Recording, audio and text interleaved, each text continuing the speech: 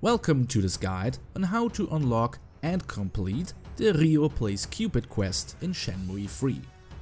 This quest becomes available after talking to Ma Ming at the Murin Cafe in search for the red snakes.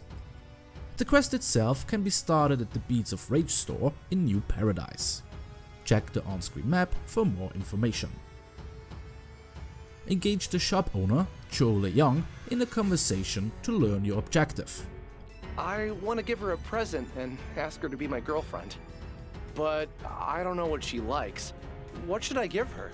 Simply stroll over to the cake shop next door to creepily ask Hua Shengling personal questions. What kind of things do you like? Huh? Well, I like a lot of things. But I'd have to say I like flowers the best. Return to Le-young to bring him the news and he will ask you to get some flowers for him. Make the long trek back to the Niaowu docks and the Nihao flower shop and wait for Fan Xiaoru to pop into existence to ask her about flowers. For times like this, just any old flower won't do. What you need is a dreaming maiden. You will have to find the elusive Dreaming Maiden flower next. Don't worry, it's easy to find.